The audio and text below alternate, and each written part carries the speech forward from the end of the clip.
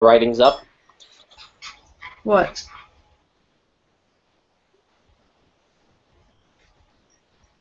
G'day all and welcome to New Parenting Hangout. I'm Tom from uh, Melbourne, Australia, connecting with you again. And uh, we're just following up, up on our series about uh, postnatal expression, postnatal depression. So this week we've been posting about postnatal depression or postpartum depression. Um, we've had some great interaction again. Um, I'd like to invite anyone that would wants to join us to come on in um, or leave your questions and stuff below the uh, in the comments section. So I just wanted to introduce uh, Tammy again. So how are you today, Tammy? I'm good. Thanks for asking, Tom. No problems. And where are you hanging out from, Tammy?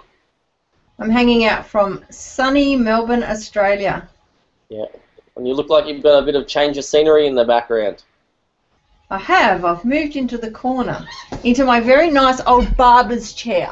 Like, oh, Beautiful. come and get a haircut after the show. Perfect. Perfect. Well, uh, I haven't changed location, but I've changed the uh, Hangout uh, dashboard has changed. The actual interface itself has changed a little bit from my end. So um, bear with us if there's anything that's uh, slightly amiss compared to what it normally is. Um, but we'll move into the, today's topic. So, Tammy, I just wanted you to um, recap just a little bit on postnatal expression and what you, uh, how you described what that was, that, that period of time straight after the birth and then we'll move into um, postnatal expression because uh, we covered all that in, in a lot of detail last week and just like to recap just a little bit. So postnatal expression is what is otherwise known as the baby blues. It's a really, really normal part of the postnatal um, journey for most mothers. About 80% of women report feeling um, post-baby postnatal blues or the baby blues. And what this is is that this is um, a, a, sudden dip in the hormones. It, it, you see it in quite significant mood changes with feeling low, feeling weepy, feeling a bit overwhelmed, and some real ups and downs emotionally, even from women who may be generally really quite stable emotionally. It often kicks in at about day three and can last a good couple of weeks for some women.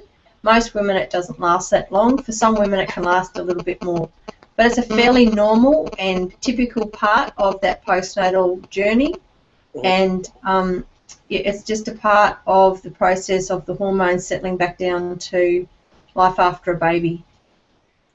Okay, so moving from um, postnatal expression into postnatal depression, how do you um, tell the difference, I guess, and what what what's typical and normal in, uh, I guess, postnatal expression, and then how would you tell the difference moving into postnatal depression? So that's where one of the, the the real challenges come into it, Tom, because a lot of the symptoms of postnatal depression are very similar to the baby blues. Um, the the difference being that the baby blues we expect to see in mothers, we, we expect it to we to see it really quite soon after the birth, but we also expect it to be resolving within like two or three weeks. Um, and even in those baby blues or those ups and downs, you're going to see, have women that have still got a sense of humour. They, they're still getting enjoyment out of their baby. They, um, they're probably very tired, but, but they, they've got normalcy happening. They've got moments of light happening as well as these downs. Postnatal depression tends to go on for longer and significantly more of the day is low than it is then it is good and it increases in severity and it doesn't start to resolve on its own. And that's when you would start to suspect that this is more than the, the typical postnatal journey for a mum. There's something else going on here. So when you when you've got more dark than light, um, is, is a way to look at that, Tammy. Is that right? Yeah. You know, we used the expression last time about a stormy, like a stormy day or a stormy week. You know, even on a stormy day, you're going to have moments of sunshine where the clouds part and you see sunshine and blue skies. With a woman who's got postnatal depression, there are very few moments of sunshine. Um, and there are, she, she loses her enjoyment in everyday life. She loses her appetite. She's very, very tired but can't sleep. And, you know, all of those things that we'll talk about in a little while about what they what are the signs of it. Um, but it, you know, the, the thing with um, postnatal depression is it's very much about timing. So if you are having these symptoms five days after your baby's born, we would expect that this is pretty normal. If you're having days and days like this five weeks after your baby's born, something else is probably going on. Yep, yep. Okay, perfect. So, what is the main cause then, Tammy, um, in your experience? You know, I, I find, uh, you know, for myself, and I'm not an expert here, but I'm just saying from observation, in my experience, I think there are two types of postnatal depression. I think there is um, what you would probably call um, social or circumstantial postnatal depression, and then you've got pathological postnatal depression. So you may have mums who are parenting on their own. They might have partners who are deployed, or they might be single parenting, you know, because they don't have a partner, or they may have a partner who is away a lot because of work. But basically, they're single parenting.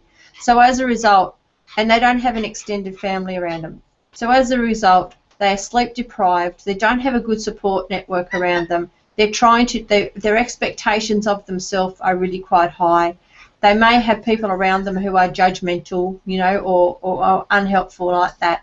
And all these things together just bring this woman down who's already hormonally having these down days anyway, but it brings her mood down even more, and so that it, it's very difficult for her to resolve. So that's what I would call circumstantial, because with more support, she would probably feel better. And these women often will respond to counselling and to support, and that's all they need to actually start to, to move through this postnatal depression. It's still very real depression, but it, it, a different treatment will work with it. Whereas with what I would call pathological depression, this is a significant chemical imbalance in this woman's body and in her brain there's nothing she can do about it. There's nothing that her family could do to change this. This is a chemical imbalance, and she the the help that she's going to need is probably going to be more medication as well as counselling and support. Okay, I think that's a, a really clear distinction between the two, um, and I, I, always think with everything that uh, there's not one um, one way that you can look at something. There's not just one way that, that people can, one category people can fall into. So I think that um, that will help people actually understand and be able to deal with things a little bit better. So, Tammy, you touched on people that don't have a great support network around them. So, who else is at risk um, of developing postnatal depression? The women who you would you would um, be as a doula, I, the person that I would be really watching carefully is someone who is struggling with antenatal depression, so preg- pregnancy depression. Mm-hmm. Someone who has a history of significant depression before they were pregnant. Um, someone who has developed significant postnatal depression, whether it was circumstantial or pathological depression, but with a previous pregnancy. Um, as well as women who are in very unsupportive relationships or, you know, in less than ideal circumstances without much support. These are the women that I would see that would be more at risk of developing postnatal depression. The other thing too is that we tend to see is women who have a very traumatic birth experience can can really go into this post-traumatic stress slash depression that can last for a significant period of time afterwards. Um, so what are some of the main symptoms then, Tammy? Um, you've touched on a few already, but can you elaborate a little bit further on that? So we went through the, the symptoms of postnatal expression or the baby blues, uh, which is the feeling weepy and fragile and, you know, all of these things, feeling very tired. These are also symptoms of postnatal depression, but they become often more extreme. So you may have a woman who's very tired but can't sleep.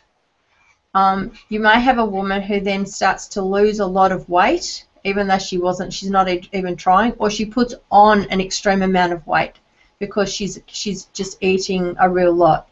Um, you have you have women who just cannot stop crying. They're crying a lot, frequently during the day, frequently during the night.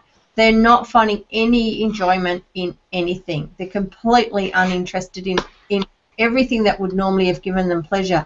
And this includes things like their partner, sex, their own their baby, you know, everything that would you would expect a mum would be warming back after a couple of months and so to find joy in, just no joy in any of these things at all. Mm-hmm. These women will often really isolate themselves. They feel a lot of guilt. They feel a lot of um, resentment towards their baby, towards their partner, um, and then they feel guilty that they feel like that. And then they start to ha- can start to have thoughts of harming themselves or harming the baby, or you know suicidal thoughts. So this is where it becomes a, a lot more extreme. The the um, the symptoms and the signs that we're seeing. Mm-hmm.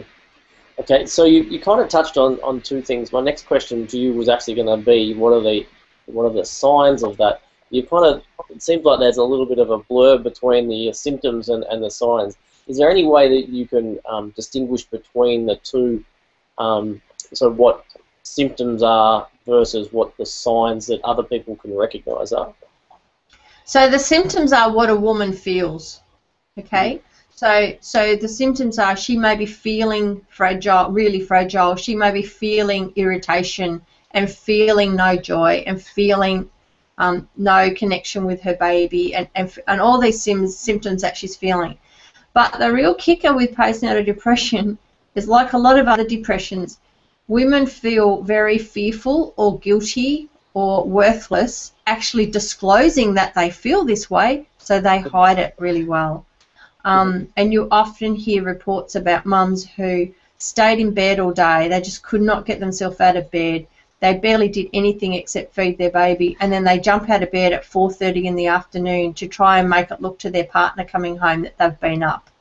Or if they hear that someone rings and says they're coming over, they'll get up and put their makeup on or something to make it look like they've been up. But if no one calls and no one knows, they may not shower for two or three days because they just can't get their head around even doing the basic things of looking after themselves. Yeah, yeah, okay. So, so sorry. So that's the the symptoms are what the woman feels. The signs are what the people around her can observe. Mm-hmm. And and what do you think the best way to go about that is? Like you, you obviously don't want to, um, as a supportive partner, you, you obviously pick up on some things, but if someone's trying to hide something, sometimes it can be very difficult to pick up on these things. So how do you go about, um, I guess, approaching the subject? Because it's probably quite a touchy subject, and, and coming from a partner or someone else, um, approaching and saying, "Are you struggling with this?" and um, that could actually cause a little bit of confrontation or um, maybe even trigger it and make it a little bit worse. So, what are some of the, the key signs that you should be looking for? So I would I would say as a partner looking on, or very close family members looking on, a woman who is who is reporting that she's very very fatigued, like which is we know that's normal in those early weeks, but by the time the baby's a couple of months old, you would expect that mum is starting to get a little bit on top of that fatigue or finding other ways to get sleep. So a mum who's reporting that she's very very tired and just wanting to stay in bed all day every day, or who is very touchy, so bursts into tears very easily, or has lost motivation to do stuff that she may normally do, like maybe do a little bit around the house, or you know have a, a shower every day. These are normal things that a mum would be. You would expect that she'd be starting to get back into the swing of because that's her own motivation. Or the flip side of that, you may become a you may see a woman become very compulsive, where she's vacuuming three times a day, and you know th- this is the other extreme about it. Um, I wish I got that. I didn't, but vacuum once a month. I don't care. Yeah.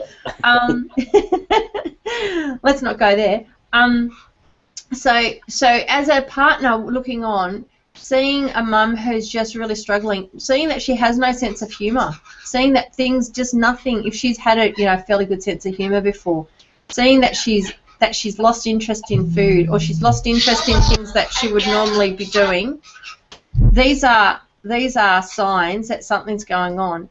And one of the ways that I would suggest that you can approach that is wait for a good time, not when you're in the middle of a blue because she has not seen the funny side of something that you've done. Mm-hmm.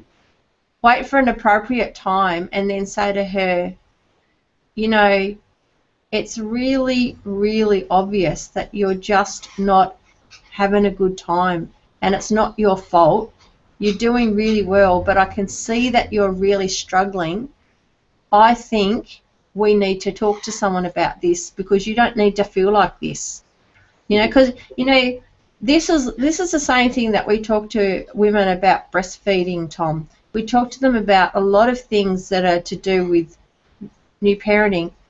Women think that it's going to hurt, or women think everyone feels like this, and actually, no, they don't. When we talk about 80% of women getting the baby blues, we mean they have a few days where they feel down, but then they start to feel better. You know, 80% of women don't feel like rubbish for three months. That's not that's not okay. You don't need to feel like that, and there are lots of things that people can do to help, but you need to go to the right people.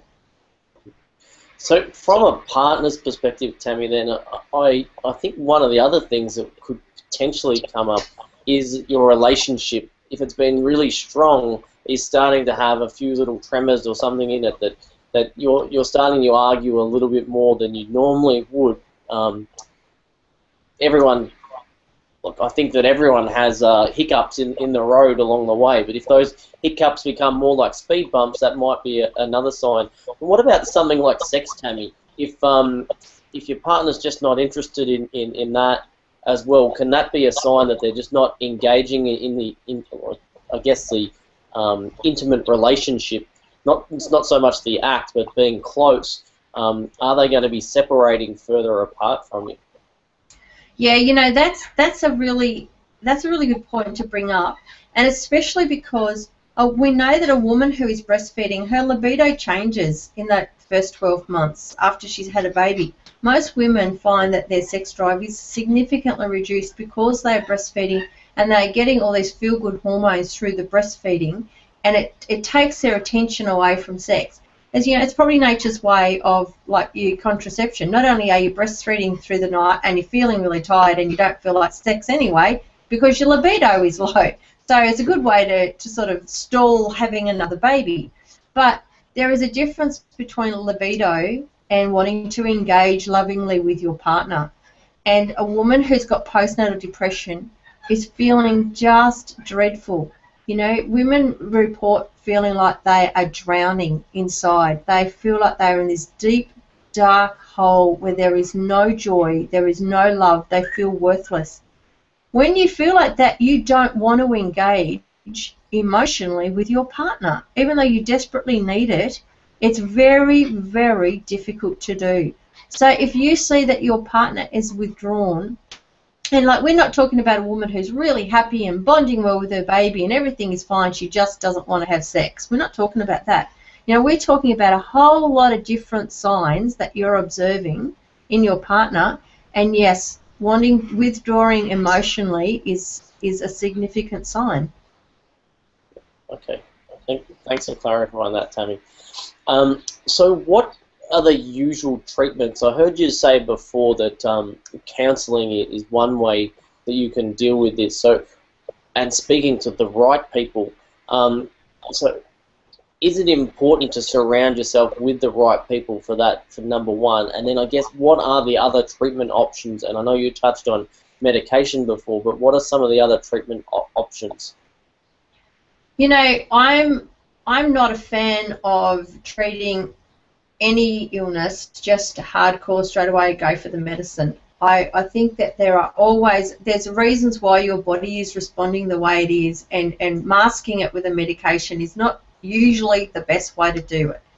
Um, having said that, we know, especially with pathological, um, depression, we know that medication will frequently be the only thing that helps. You know, it, it, because it's a chemical imbalance.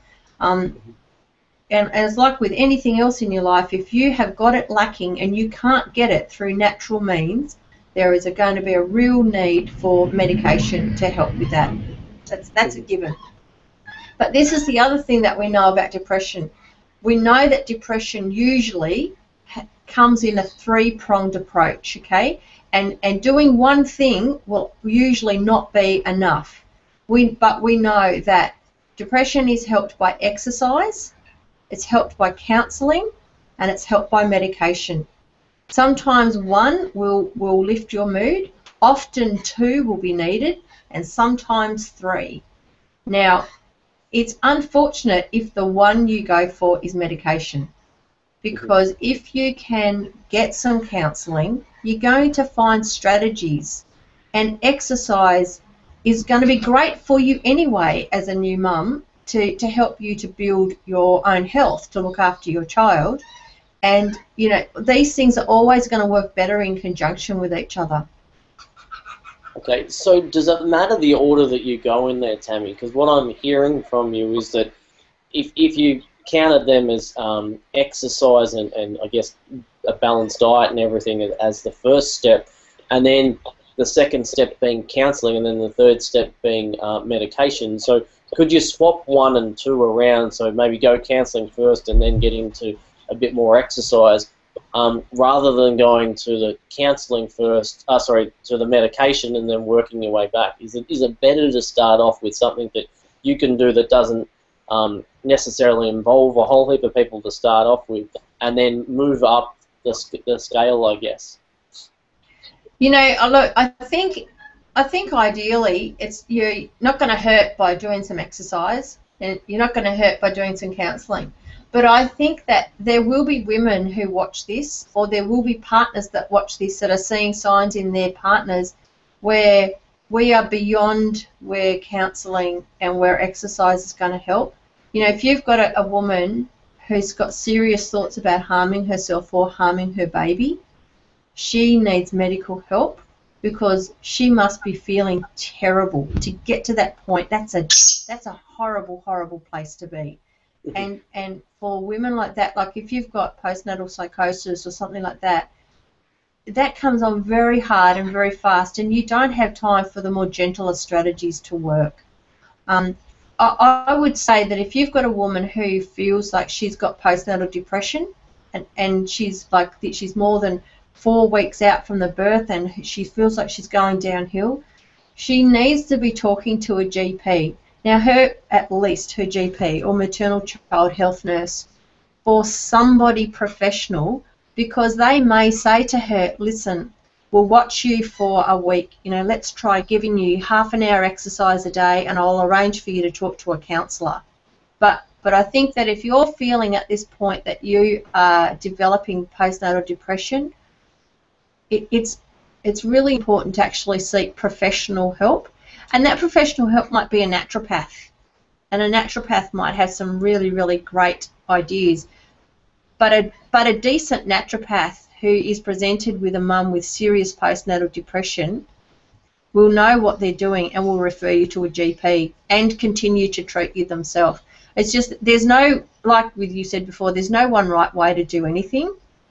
And I, I think if you're two or three weeks out from the birth and you're feeling really low, starting some exercise is a really good idea to see if that makes a shift, if see if it helps and definitely your diet. Like watching, putting what you, is good into you is going to, you know, help you to feel better no matter what you're doing.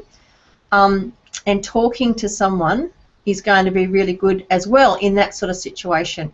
But it, it just really depends what signs and symptoms are going on. That, but I do know, look, I've, I've been with clients myself, and I do know that there are some women where things happen really quite rapidly, and you just don't have time to try the natural remedies because there's there's unsafe stuff going on for that woman. Mm-hmm.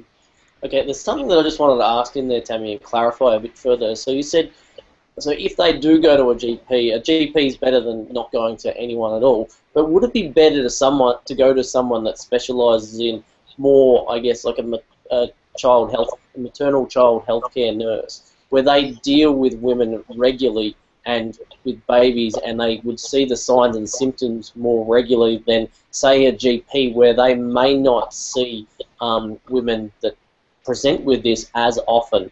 Um, so either a, as I said, maternal, maternal child healthcare nurse, and um, even or a psychologist. Um, so sorry, slip of the tongue with uh, trying to get too many words out at the same time. Um, but yeah, it, would it be better to go and see someone that's specialised in this field? Yes, but quite often, quite often, Tom, you've actually got to go to a GP to get a referral. Um, there are. It depends. If you've birthed in a private hospital, they'll often have a mother-baby unit um, that you can that you can go to. If you've had a if you've been private if you're privately insured and you've had a private obstetrician, you can actually talk to them at your um, six-week checkup. But you know, for some women to wait to six weeks, honestly, I had postnatal depression with one of mine, and at four weeks, if I was told I had to wait another two weeks to get help, I don't know what I would have done. It was terrible. It was terrible. So I would say to I would say to someone, if you're feeling really low and it's not getting better, and you're having several days in a row where you're feeling down, go back to the hospital where you had the baby and ask to go to the mother baby unit. Go to you know go go to your maternal child health nurse. You know do whatever. Usually, I, I know where you're going with the whole GP thing because GPs often, you know, if you've got a GP that knows you really well, that's fantastic. But if you're going to a clinic where a GP doesn't know you, the, the, often the easiest thing will be just to prescribe antidepressants. And you know, you do need that broader pronged approach. So I do I do think in those early stages, going back to the hospital, the hospitals here in Australia have really good support systems for mothers with postnatal depression. If you know the right places to go in there. Okay, perfect. Um, so Tammy, I guess one of the other things, what can like, sorry, oh, let me go back a step. So you just touched on some alternative uh, treatments, and I guess like so, if it's a step before that where it's not as serious, we've talked about exercise and food um, and going to the naturopath. Is there anything else that would help um, with this, like maybe doing some yoga or meditation or, or something something along those lines that's um, wouldn't be considered mainstream um, medicine? Look, there's a lot. There are a lot of um, different alternative therapies that are going to absolutely going to help a mum with postnatal depression. The challenge is with a woman with significant postnatal depression, they, she will frequently lack the motivation to go and do anything.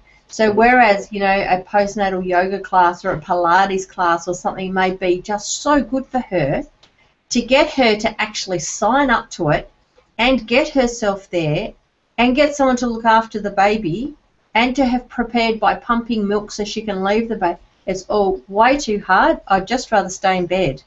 Mm-hmm. Do you know? So, do you, do you know where I'm going with that? Yeah, 100%. So, so for a woman to for a woman to um, engage in those sorts of activities will absolutely help her, but she's probably going to need a lot of support to actually do it to get the results where she's going to feel the benefits.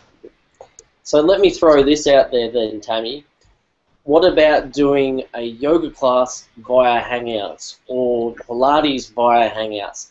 Something that where the mum doesn't need to leave the comfort of her own home. She's getting the connection with some other people and, and also um, potentially being supported by those other people at the same time. What are your thoughts on that, Tammy? That could work. That could work. See, for a mum who was amazing, isn't it? It's just wonderful. An online yoga class. Mm-hmm. You could be onto something there, Tom. Yeah. um, so it's um, interesting concept. What you can use is the power of what we're doing now with Hangouts. There's so many applications for it. Um, like just for example, and this is just brief. I just want to get touch on this. You can use Hangouts for a baby monitor within your own home. Um, so you can have a Hangout running while you've got your uh, mobile phone, for example. But my point being through this, this uh, what I'm saying is, and what I'm hearing from you, Tammy, is support is the biggest thing that's going to help with anything through this process. So if you can feel supported, and if that doesn't necessarily mean leaving your home, talking on the phone, um, reaching out and connecting with people, whether it's via Hangout, a phone, having people come around, and the right connecting with the right people, that the chances are you're going to help um, deal and cope with the uh, the situation at hand. Um, so, Tammy, what is the best thing that friends and family can do to help? So, you know, I, you know, I can I can speak from personal experience here, and it's going to be different for everyone. But what I found helped is people just being really kind. Do you know, when when you haven't had a shower for two days and your hair's sticking up every which way and you're still in your pajamas at four o'clock in the afternoon and your house looks like a tip and the baby's got a dirty nappy, having someone come in and look around your house and go, "Wow, what have you been doing?" is not helpful. Um, and getting a lecture about when I was a girl, we wouldn't have been able to do this. Do you know our house was always clean? That doesn't help either. I was so fortunate because I had a beautiful mother-in-law I have, she's still alive. and she came and she would say to me, You're doing a great job, you're looking after the baby, that's all you need to do. And she would she would just do stuff. She would do some vacuuming, she'd do some washing up, and I would be saying, I'm so sorry, the place looks like a tip and she'd say, No, looks like you've got a brand new baby. Which was really nice and it really helped for me. That helped. Um, being told that you're lazy because you stayed in bed all day isn't helpful. Because a woman who stays in bed all day, something's going on because that's not normal behaviour. Do you know? A healthy person might stay in bed one day. They don't do it four days in a row because you don't you don't want to do that when you're healthy. Something else is going on when someone's doing that. Um, there, if a woman normally keeps her house fairly tidy, and all of a sudden it looks like you know an atomic bomb's gone off, then probably there's a message going on that something's going on. And you know, if she's looks like she hasn't had a shower for a couple of days and she normally has three showers a day, something's got something's changed and she's struggling. So having people say, what can we do to help? And having people say that it's okay to feel like this, you don't need to feel like this though you can get help. You know, I can see that you feel this way means that that other people are observing that it's not just all in your head. Do you know? Which is a little bit different than saying, I know how you feel, because you don't know how I feel. You haven't walked in my shoes. Um, it's really, partner support is really important because, like I said earlier, a lot of women feel really anxious about disclosing how they feel because they don't want their partner to think they're lazy or their partner to think they're bad because they don't love the baby or that they're you know that they've given up on their relationship you know just just saying to them i really can see you're struggling and you know this is not like you and you don't need to feel this way. We can get some help for this. It you know that that is an enormous sense of relief to have someone say to you that we can get help and then and put it together as a group. So so what i'm hearing in there tammy and um, correct me if I'm wrong here, but if you approach this with a hard and fast, um, like you were kind of really confrontational about it and said, look, you've been lazy, you're doing all this, um, and this isn't getting done, da, da, that's going to make the situation wor worse. But if you approach it from a, a point of, of, I guess, caring and nurturing and loving um, and being really supportive, then the chances are that there's more of a chance that the, the woman will open up more to you and, and feel comfortable and feel supported and will want to work as a team to move through this and um, will potentially even recognize in herself that there, there might be something a little bit amiss here and that it's going to take more than herself to get out of this and, and basically work as a team with someone or a group of people to move forward. you know, if if you're approaching it with a hard and fast thing of, you know, you should be able to do this and you you're lazy, I would um, I would suggest that you look at the statistics. And in Australia, in this lucky country, the number one killer in the first 12 months of mothers post birth is suicide. That's that's just appalling. That that makes me feel sick even saying that out loud. We have got women dying from postnatal depression. And it, this is real. This is a tragedy that is happening in front of our eyes and we need to help. And we need women to be able to speak up and say, I can't do this, I need help.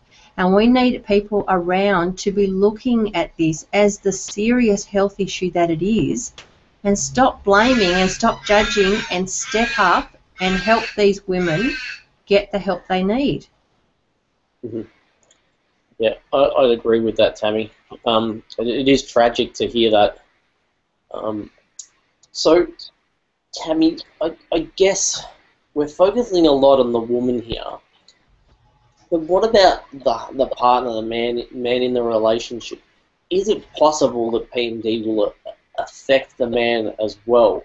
And um, I guess leading on from that, what happens if you get a situation where mum's got postnatal depression and dad's got postnatal depression as well? Um, can you just talk a little bit about that?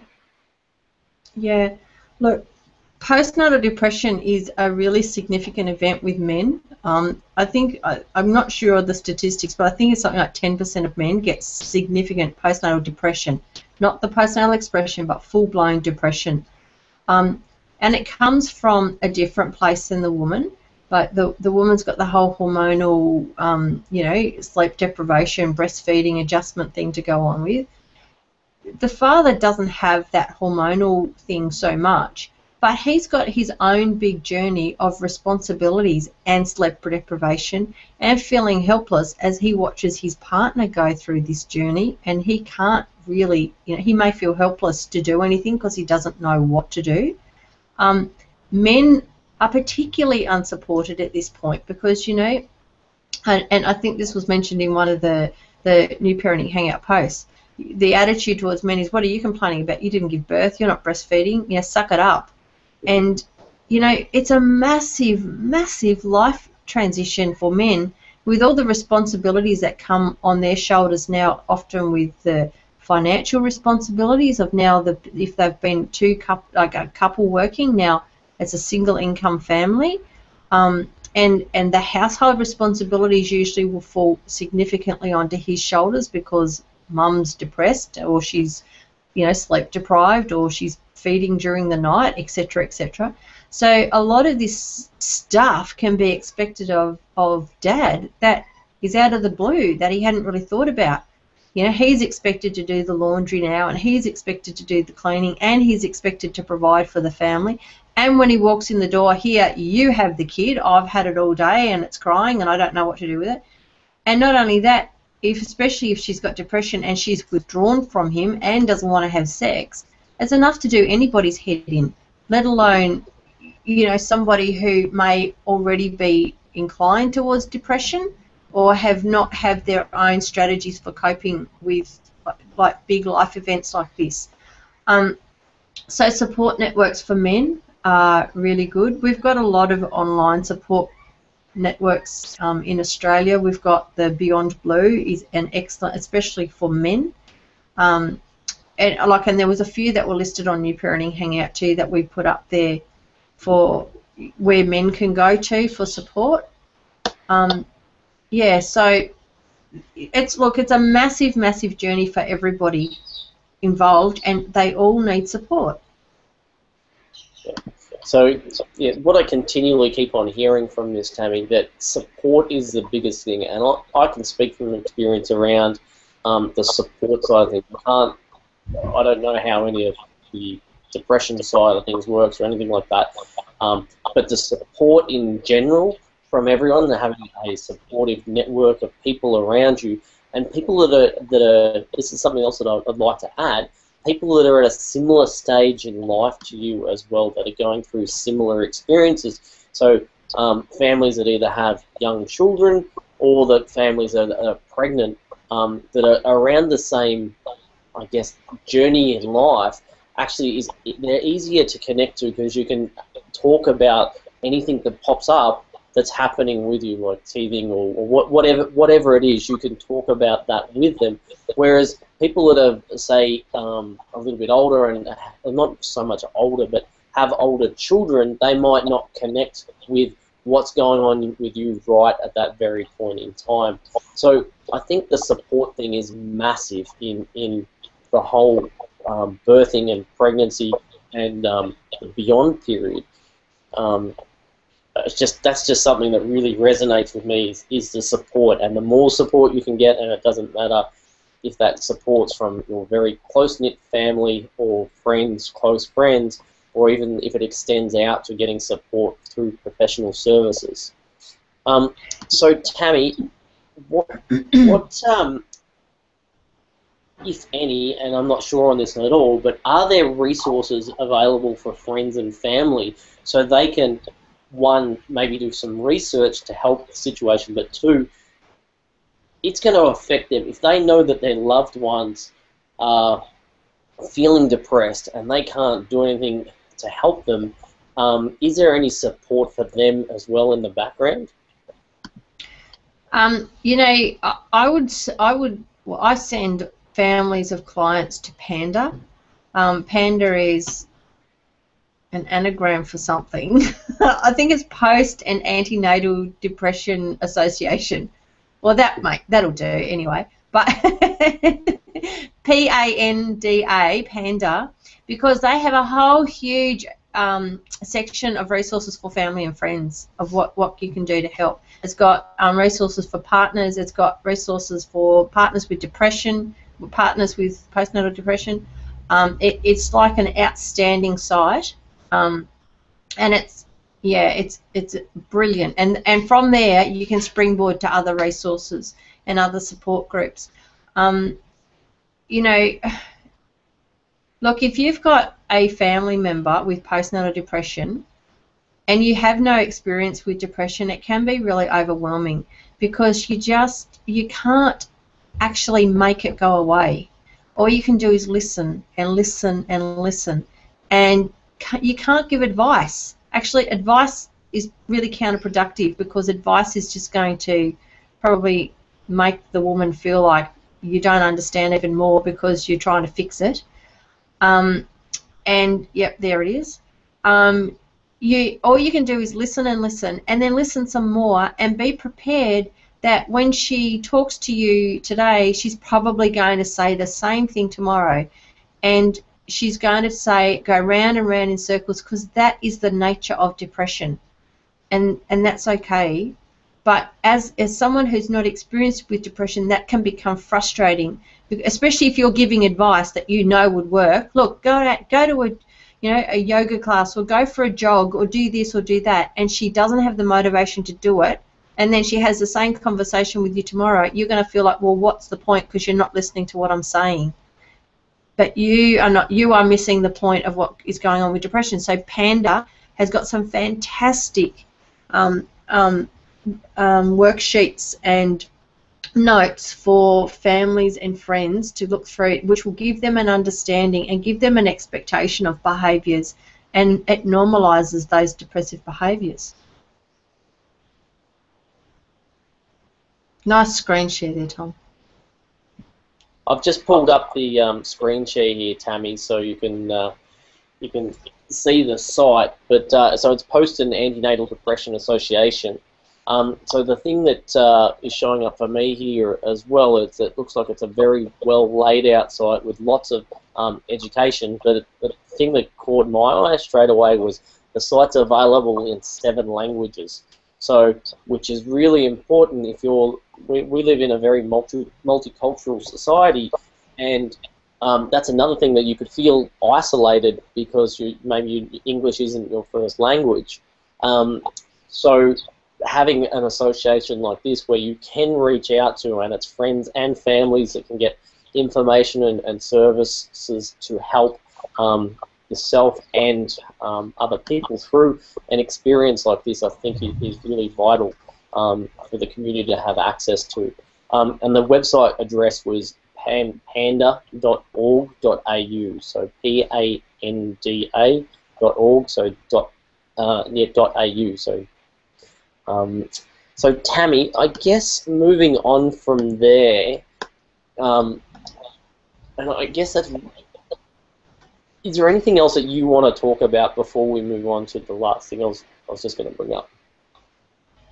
No, look, it, it's a complex it's a complex issue, Tom, um, and it's it's been going on for a long time, postnatal depression, but we are seeing more and more of it um, in our society.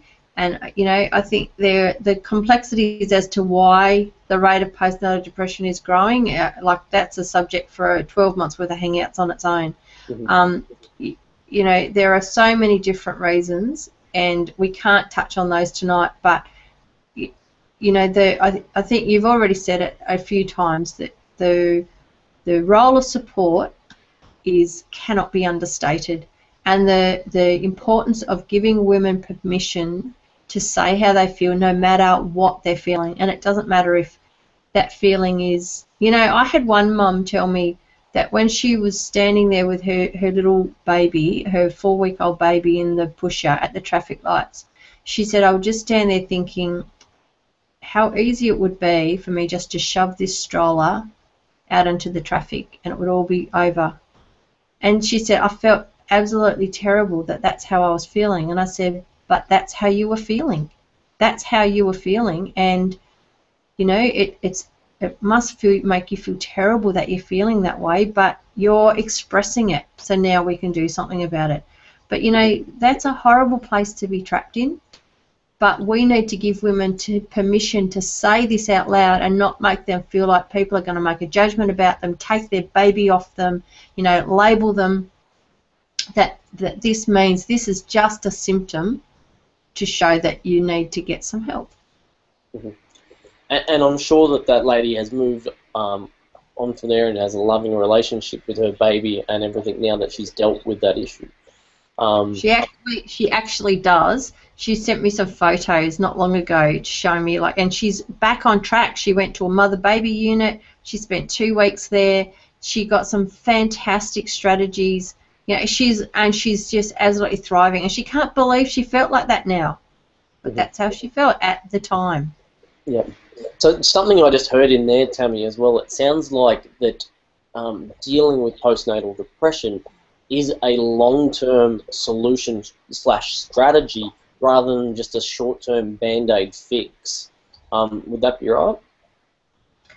Yeah, like, yeah, it is there's there's multiple facets to it, and you know, if a woman has postnatal depression with one baby, she may very she runs a pretty good chance of maybe having a similar experience the next time if she doesn't put some strategies in place mm-hmm. to get on top of it or to have the support there when it hits and have people on the alert so that she gets help a bit earlier next time. Okay, so this has been really informative again, Tammy. I want to thank you for joining us again today. But uh, before we wrap up, I just wanted to talk about next week briefly because I think it ties into the whole theme that we've been talking about through our posts um, about postnatal expression and postnatal depression and leading into something that can help um, with this, which is uh, placenta encapsulation. So, is that something that you're quite passionate about, Tammy? Yes! Placenta encapsulation! Yay! Perfect, perfect. No, so I think it's important to uh, bring the information to the, the community um, to have an opportunity to explore something that isn't quite 100% mainstream, but can have some really beneficial results um, based on experience and based on some stuff that I, a lot of stuff that I've actually read about this. So um, I think that's going to tie in really well for this theme. So, Tammy, do you want to come back next week and talk about that? I would be honoured, Tom. Perfect, perfect. So we'll wrap it up here tonight, Tammy. Um, I know that uh, we're running a little bit over time tonight.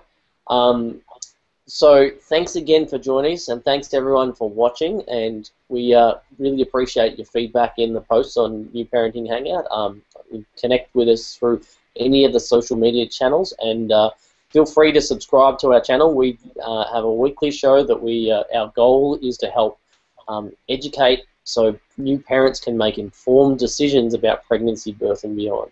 But thanks again for joining us, and thanks Tammy, and we'll catch you guys next week. Cheers.